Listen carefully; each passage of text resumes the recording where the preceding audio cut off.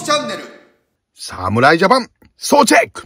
はい。ということで、えー7月24日、えー25日に行われた、侍ジャパン対楽天、えーそして巨人の強化試合、総チェックしていきたいと思います。まあね、この時期もう最後の本戦に向けて、えー最後の、えー強化試合になりましたけどもね、オリンピックはね、もう始まっていますけども、安倍兄弟が後日、金メダル、そして堀米選手、ね、スケート、ストリートで金メダルとね、まあ、他にもね、水泳、ね、サッカーもいい調子ですし、いい感じのね、えーオリンピックが日本としてはね、進められてるんじゃないでしょうかね。始まればね、みんなで応援してあげてほしいなと思います。さあ、ということでね、その始まる前にね、ソフトボールも好調で、えーもう決勝進出、えー確定、ね、最終戦、アメリカと、えー戦って、まあ予選1位、2位を決めるだけですけども、えーまあ主力をね、えーなかなかいいところをね、見せないように戦いながら、決勝、金か銀か、アメリカとね、戦う模様っていうところもありましたから、野球もね、続いていきたいなっていうところで、どういった状況なのか、侍ジャパン、ね、チェックしていきたいと思います。さあ、えー7月24日ね、楽天との、えー強化試合、えー5対3で楽天の勝ちとなりましたけども、この日ね、えー東北放送で、袴田さんとね、一緒に侍ジャパン対楽天のね、えー解説させていただきましたけどもね、えー東北地方の皆さんは、お目に、えー書かれたんじゃないでしょうかね。どうでしたか？新鮮でしたか？佐々木チャンネル in 東北というね、いう形でしたけども、まあ、この日はね、もう本当に楽天のいいところばっかりが出たっていうね。まあちょっとね、楽天の話になりますけども、まあね、若手選手が、この後半戦に向けてね、躍動、アピール、非常にできたんじゃないのかなと。で、オコエ選手ね、怪我もあって、初めてね、今年生で動いてるね、姿見ましたけども、あの、コンパクトにね、だ、打撃前に比べると、その無駄な動きっていうところがね、少なくなってるかなと、コンパクトにね。でね、低めの球しっかりね、引きつけて、ツーベースっていうところもありましたし、あの、ワイルドピッチもね、あの、瞬時にね、そのミスを見つけてね、三塁へ、進塁っていうところもね、非常に良かったかなと。あと、村林選手もね、あの、青柳の、えーインコースね、しっかり疲れながら、ツーアウトからね、で、最後スライダー決めに行ってきたところをね、タイミング、外されながらもね、しっかりついていってセンター前のタイムリーっていうところも非常に、えー良かったなと思いますし、あの、模擬のね、犠牲フライ、アウトコースね、結構難しいところでしたけども、ああいったところの隙のない野球、ね、8回表にはね、しっかりディクソンがね、決勝タイムリーというところで、ディクソンはね、3本打ちましたけど、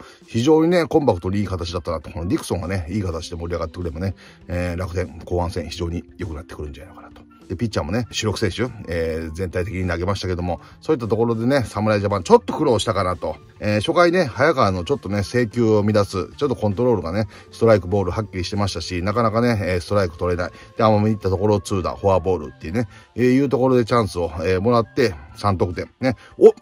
今日は侍ジャパン何点取るのかなっていうね、えー試合展開でしたけどもね、思いましたけど、そっからね、冷風っていう形になりますけども、まあ、ここでね、えー気になったこと、チェックしていきたいと思います。まずはですね、まあ、一番気になったのは、この日投げるね、えーピッチャー、千賀です。一番気になったのは、まあね、えー前回、えーロッテ戦、えー二桁失点で降板して、で、またね、二軍再調整になりましたけども、えー正直長いイニングをね、全然ここまで投げれてないっていうところでね、まあこの強化試合でも、えー実質2回しかね、まあ全員調整して投げなきゃいけないんで、ローグイグにも投げませんけども、2回しか投げれないっていうところで、まあね、初球ね、159キロロのアウトコースストレート、おいい形かと思いましたけど、ちょっと回が進むにつれてね、そのスピードっていうところね、球速も落ちてきましたし、えー全体的にストライクボールはっきりしてましたし、ちょっと球も高いっていうところで、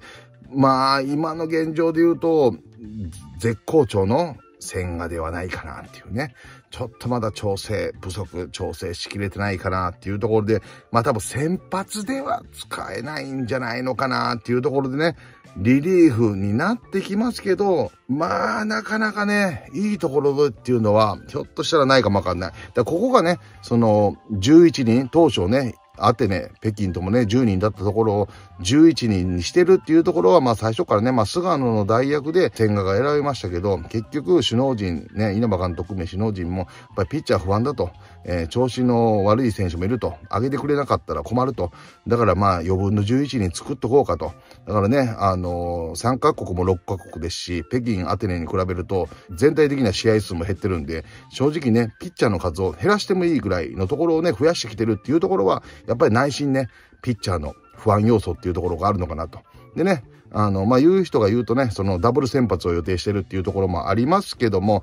WBC をね、球数制限ありますけども、今回のね、オリンピック、まあ、北京までにもそうでしたけど、球数制限ないっていうところは、まあ、山本由伸が投げて、完投してもいいんですよね。マー君が投げて、7、8回投げれてもいいわけですよね。まあ、無理にダブル先発使わなくても、その先発投手がね、しっかり長いイニング投げて、でね、後ろね、えー、栗林、平にね、直結していくっていうのでもね、全然いいんで、そう考えるとダブル先発っていうのは、ちょっとね、あの、現実味に欠けるんじゃないのかなっていうところでね、まあそういった不安なところがね、この11人になってるんじゃないのかなと、えー、思います。まあその中でね、まあ森下、青柳戦がっていうところは失点しましたけど、青柳もね、ちょっと配球がいつもと変わ見てて変わったなっていうところはありますけれども、そのツーシーム進化系がね、ちょっと決まりきらなかったっていうところもね、最後ね、ちょっと村林に打たれたっていうね、えー、ところも、えー、ありますけれども、ちょっとね、この得意のツーシーム進化が決まらなかったなっていうね。ワールドピッチ、もうね、2回して、それが両方で失点につながりましたけども、まあ、キャッチャーがね、やっぱ代表のキャッチャーが一番やらなきゃいけないことは、まあね、初めて組むね、投手の方もいますからね、その中で変化球と曲がり、どういった曲がりするのか、スライダー一つにとっても横に曲がるのか、小さいのか、大きいのか、斜めなのか、縦なのかっていうね、一口にスライダーって言ってもいろんな曲がりがあるんで、そのピッチャーに合わせてね、そのスライダーとか変化球の軌道を知るっていうのがまず一つ。で、もう一つが、ミスの許容範囲を知る。このね、一つのフォークボール、スライダーとしても、ミスする場合は、引っ掛けるミスが多いのか、抜けるミスが多いのか、もしくは叩きつけるミスが多いのか、もしくは上に抜ける、左右どこに行くっていうね、ミスの許容範囲を知るっていうところが、ワイルドピッチ、パスボールを防ぐっていうね、最大のあの要因になってくるんで、そういったところもね、ミスの許容範囲を知るっていうところは、今後、まあ、本戦に向けてもキャッチャー陣はね、必要じゃないのかなと。まあ、そのね、お声のね、すぐ行ったね、あの、構想類判断っていうのも非常に素晴らしかったですけど、青柳のね、ピューっていうところもあると思えば、最初からね、もうちょっとコースに構えるとか、ね、まあ、あの、そう、どこに構える、ミスの許容範囲をしてどういう構える、どういうふうに体重をね、そっちの方に重心をかけておくっていうところで、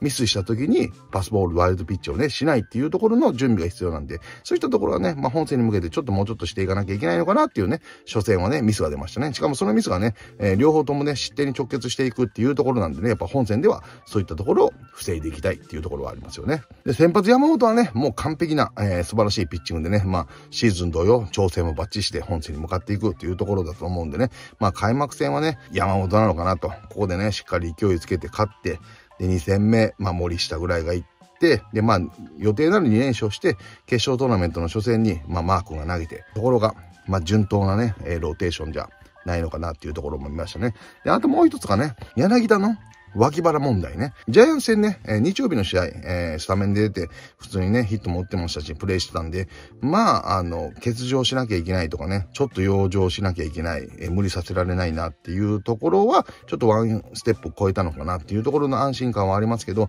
でもやっぱりそこに違和感あるっていうことは、そのね、オリンピック間中にそっとしたらバシーってね、なる可能性もあるから怖いなってね、いうところもありますけども、一つの要素としてやっぱりね、その先行されたメンバーの時から思ってましたけど、やっぱセンターの代わりがいないね。で、そこで近藤がね、えー、センターに入りましたけど、まあ、無難なね、センターフライを2個取りましたけども、ディクソンかなのライナーを目測誤って前でできてね、後ろ下がる。やっぱセンターのね、一番難しいのは正面のね、打球、処理がやっぱセンターはね、一番難しいんだよね。そこの判断がね、ミスしてっていうところでね、やっぱり普段守ってないところの守備は怖いね。普通のね、プレーはできるだろうけど、ああいうことがね、で、まあ、あのー、報道でもね、まあ、こういう時にミスが起きてよかったっていうのはありますけども、まあ、それは起きて、ここでね、強化試合だからミスが起きてよかったっていうのもありますけど、じゃあそのミスが起きないように何か対策してるんですかってなった時に、対策はできないんですよね。一つの要素はもう近藤のセンターを諦めるか、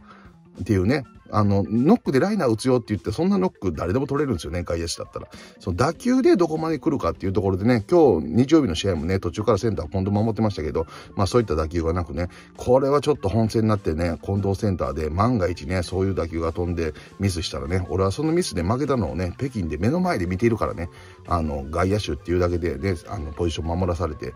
自分がね、の守ってたところじゃないところを守ってね、ミスした GG のね、プレーを目の前に見てるんで、やっぱり選手にとったらやっぱ守ったことないことも不安だし、ミスしておき、良かったっていうのは強化試合だから言えることであって、それが本戦になったらね、多分、もし本能が守るとね、すごい緊張感の中、そういうだけをね、さらに丁寧に取ろうとしてミスが起こるっていう可能性もあるんで、そういったところはね、このセンター、柳田が守れるか守れないかは、本当に金メダルに向けて大きなね、あの、重要素なんじゃないのかなっていうところをね、強化試合、改めて感じましたね。あと、特にね、楽天戦は特に結構ね、いろんなことが思ったんだけども、楽天のね、攻撃の時の4回ね、えー、茂木の打席、ワンアウト3塁の時、えー、それと、えー、5回の、まあ、これもね、アイドピッチで3塁に行って、えー、黒川のね、えー、打席、ワンアウト3塁の時、この両方ともで前進守備を引かなかったんだよね。まあその普通の試合の流れだと3対0、3対1、中盤だったら、この公式戦とかね、その本戦だとそれ内野、後ろっていうのもいいかもわかんないけども、その強化試合っていうことを考えると、正直勝ち負けはね、そんなに重要じゃないと思うんだよね。その中で本戦の時のために練習するために、俺はそこはあえて前進守備を引いて、その前進守備の中での守備のコミュニケーション。もしくは連携っていうのを試す絶好の場だと思ったんだけど、あそこ後ろに守っても1点やるみたいな、その勝ちに行く必要はね、そこまでないと思うんだけど、そこの守備っていうのはなかなか本戦にね、出る前に試せるとこもなかったんで、そういったところではあそこはね、間抜けようが点取られるは別として、前進守備にしてコミュニケーションを図るっていうのを取ってもらいたかったね。で、黒川のね、ファーストゴロなんで、まあそこからね、山田が後ろ守ってたんで、ファーストゴロね、ホームに投げようとしたけど、まあ、まあ、前にいないんでね、ファースト無理だったけども、あそこもね、前進守備引いてもらいたかったんだと。で、その後ね、同点のピンチか、侍ジャパンとしての時はね、前進守備を引いてきたけども、あれを最初からやってもよかったんじゃないのかなとね、解説してと思いましたね。で、楽天戦はね、1番山田、2番坂本、3番吉田、で、4番鈴木誠也、5番浅村、で、6番村上、7番近藤、8番海、9番菊池っていうところで、まあ、ほぼね、あの、作戦は、えー、何もなく山田がね、1回走ったかな、あ、と思ったんで、あ、山田走れるんだともね、シーズン多分2、3個しか走ってないんで、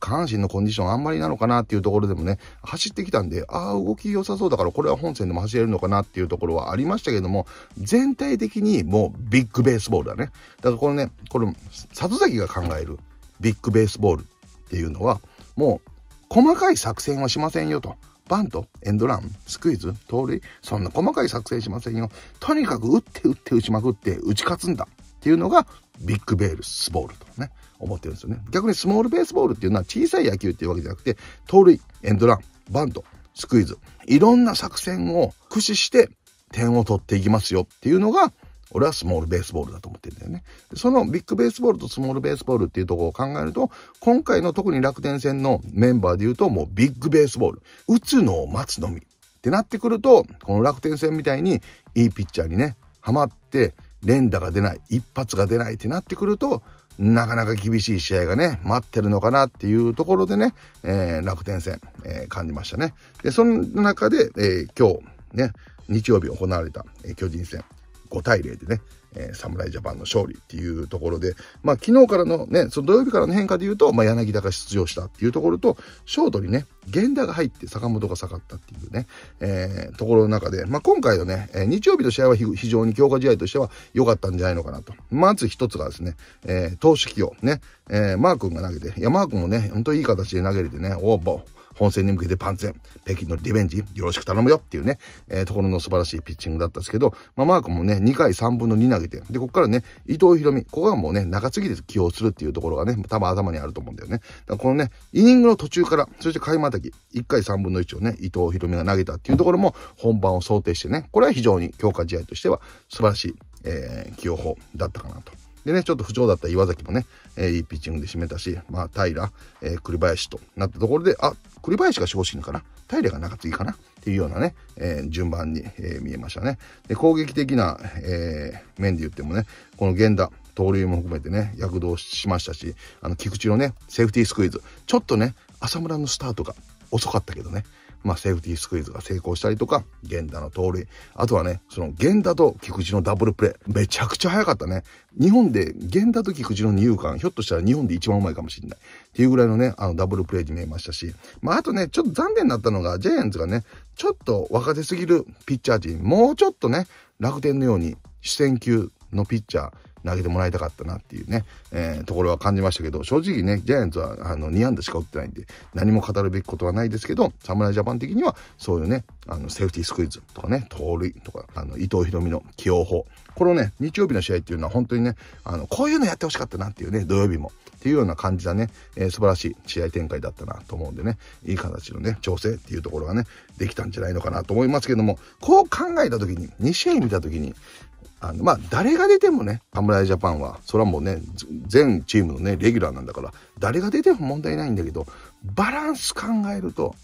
俺はショート源田の方がいいんじゃないのかなと。やっぱりね、ビッグベースボールはね、本当にいいピッチャーにはまったなかなか難しいんで、北京の時もそうでしたけど、中日のね、キム・ガンヒョン、そしてね、あの、ドジャースに行ったリュウっていうね、この2人のピッチャーがもうハマりにはまってね、ベストピッチしまくってね、えー、全、各国のね、強打者を抑えられたっていうところもありますし、アメリカにはね、今、あの、ナショナルズに入ったあの、ストラスバーグっていうね、大学生で来ましたけど、全米ドラフトね、1位っていうね、えー、ところのピッチャーもいましたから、なかなかね、ビッグベースボールってなってくると、まあ難しいと思うんで、俺は、まあ坂本もいい選手なんだけども、その今回の侍ジャパンの構成で言うと、源太を入れた方が源太菊池っていうところでいろんな小技を効かせた攻撃もできるしもし動かない試合展開になった時にこの2人で試合を動かすっていうところもできるしその泥臭く1点っていうところもできるし足も使えるんで守備力もいいっていうねこと考えると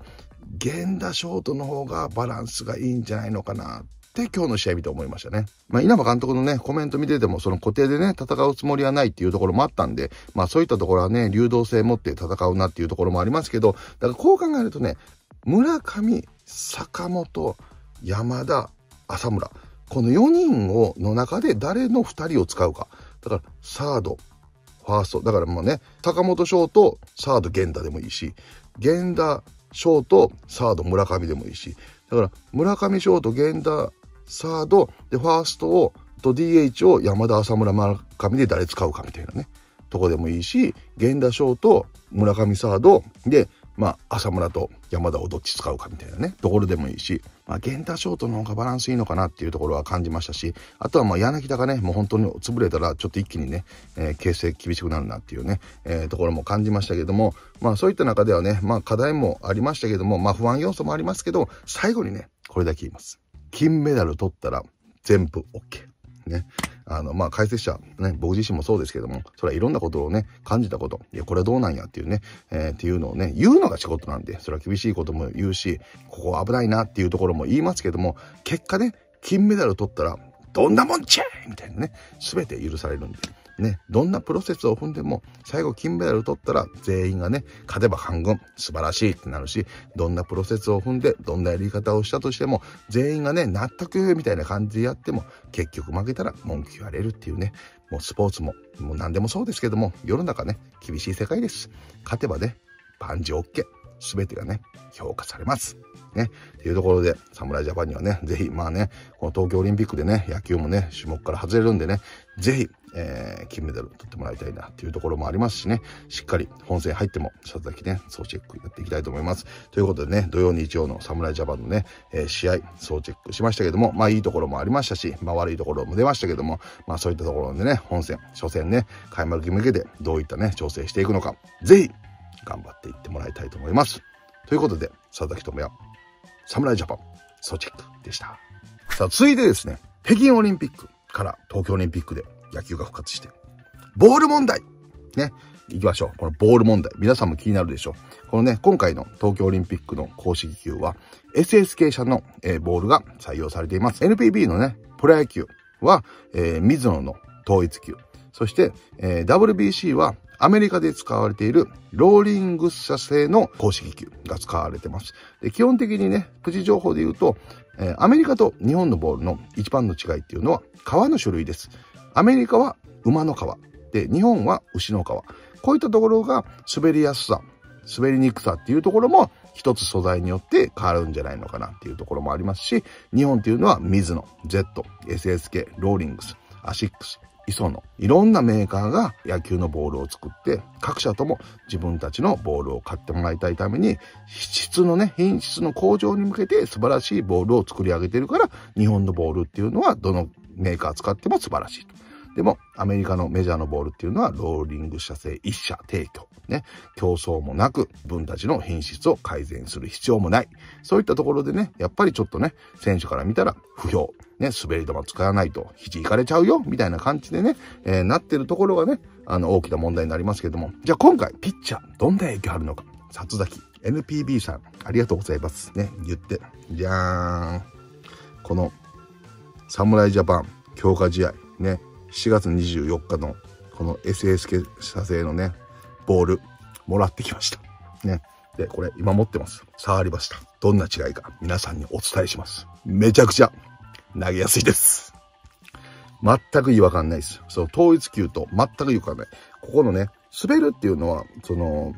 メジャーの球が滑るっていうのは、ここのね、白いところが滑るんだよね。だからしっかり縫い目にかけなかったり、ここでもこう指をね、立てて持たないと滑るんですよね。でもこのボールっていうのは非常にね、いい形でこの皮の部分もしっかり滑りにくくなっててグリップが効くようになってるんで、どこ、縫い目にかからなかったとしても非常に素晴らしいボールが、えー、投げれます。違和感もなくです。えー、縫い目の具合も高すぎず、低すぎず。それでもう一個の、えー、これ、2球ぐらいあったんで、それも使ってみましたけど、まあ、若干そっちは縫い目が下がったんで、これはね、どのメーカーでもそうなんですけど、縫い目はね、ちょっと高かったり、ちょっと低かったり、その一つ一つね、やっぱこの手で作ってるっていうのもあって、あの、ちょっとの誤差はあるんですけども、全体的に縫い目もいい形。もう僕はこれ好きなボールのね、あの、一つに入りますね、公式種。この皮の部分も滑らない、えー、縫い目っていうのも非常に、えー、高すぎず低すぎず違和感なく投げれます。ね、だから今回のね東京オリンピック日本のピッチャーにとっては全くシーズン通り違和感なく投球できると思いますし守備もですね違和感なくこのボールを扱えると思います。なのでボールの影響は日本ほぼありません。ね、じゃあ海外の選手はどうなんやってなってくると使いにくいボールから使いやすくなる。そして日本に来た外国人投手に聞くと、